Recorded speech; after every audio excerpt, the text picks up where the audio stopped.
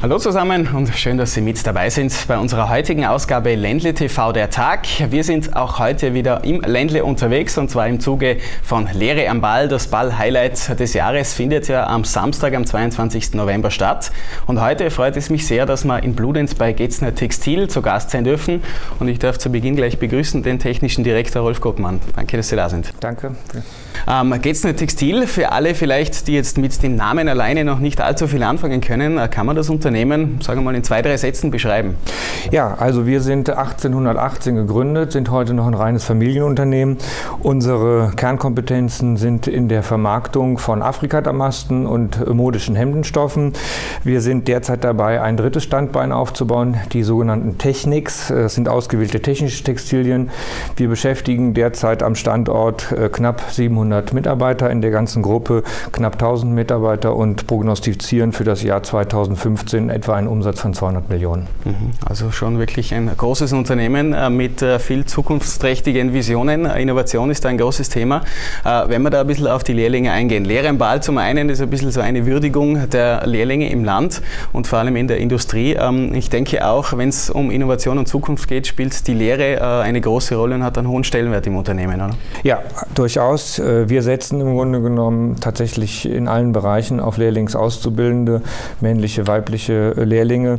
Wir werden in 2015 sicherlich einer der modernsten Lehrwerkstätten für die Ausbildungsberufe Elektrotechnik und Metalltechnik haben. Also ganz klares Commitment, äh, Facharbeiter eigentlich nur durch eigene Lehrausbildung. Und wir sind sehr froh, dass wir sowohl äh, auf der Eigentümerseite als auch auf der arbeitnehmenden Vertreterseite da eine ganz klare Zielrichtung haben und wir wirklich an einem Strang ziehen. Ich glaube, das macht die Sache am Ende erfolgreich. Mhm. Also ganz eine spannende Geschichte für die Jugend, vor allem auch in so einem Unternehmen dann tätig zu sein. Ich sage an dieser Stelle mal äh, vielen Dank.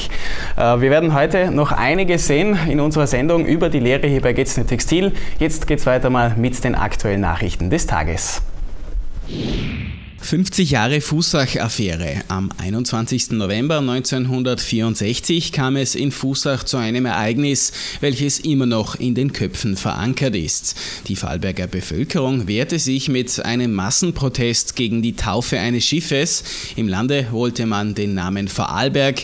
Der zuständige Bundesminister entschied aber auf den Namen Karl Renner. Der Protest war dann auch erfolgreich. Noch heute fährt die Vorarlberg auf dem Bodensee.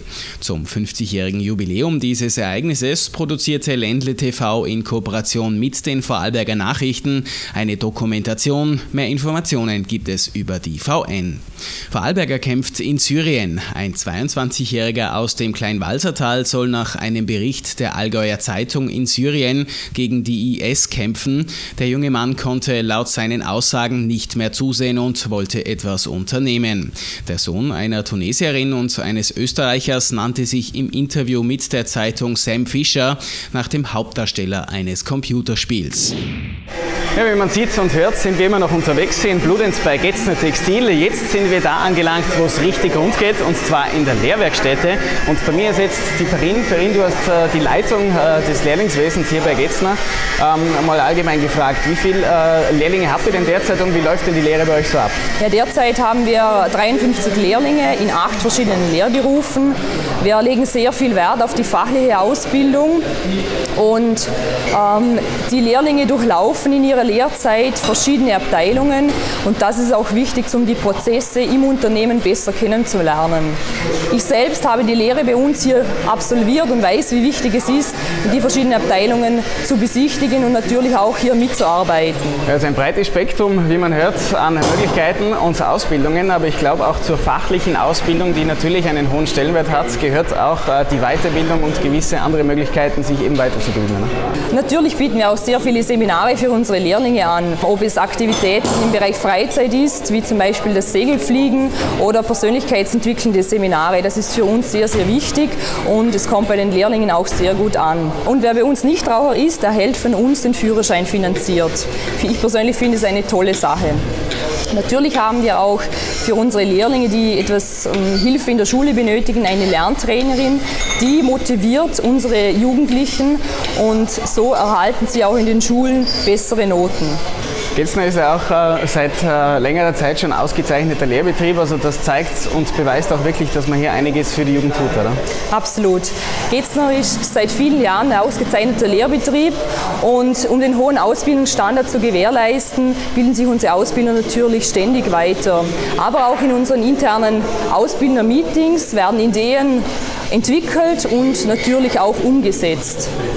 Das Tolle an dem Ganzen ist auch, dass wir alle am selben Strang ziehen und das finde ich wirklich sensationell.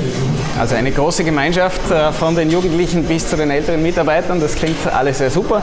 Wir haben also einiges gelernt wieder und ich werde mich jetzt dann gleich einmal unter die Lehrlinge stürzen. Bis dahin gibt es jetzt die aktuellen Meldungen aus der Welt des Sports. Spitzenspiel am Samstag in der International League. Der EHC Lustenau bekommt es in der heimischen Rheinhalle mit Zell am See zu tun. Spielbeginn ist am Samstagabend um 19.30 Uhr. Die Highlights gibt es ab Dienstag im Ländle TV Wochenmagazin zu sehen. Ja, ich bin jetzt hier beim Moritz angelangt, im Labor bei Getzner Textil. Ähm, Moritz, äh, es sieht danach aus, als ob das, äh, da was gefärbt wird, oder was machst du genau? Genau, ich mache da gerade eine Stückfärbung. Das heißt, wir haben da eine Maschine, da kommt der Stoff durch und wird dann, oh welches Wunder, als roter Stoff, weil wir roten Farbstoff in die Maschine gegeben haben, unten rauskommen. Ah, wunderbar. Ähm, also das ist, denke ich mal, also ein Grundbestandteil deiner Lehre. Du bist Chemie-Labortechniker im zweiten Lehrjahr. Ja. Ähm, mal ganz allgemein gefragt, warum A, diese Lehre und B, bei Getzner? A, diese Lehre. Ähm, ich habe in der Schule schon als im Chemieunterricht gemerkt, dass mir das sehr viel Spaß macht. War sehr interessiert, hat auch notenmäßig dort gepasst. Ähm, und B, warum Getzner? Äh, ja, Getzner bei mir in der Stadt. Ich wohne fünf Minuten von hier.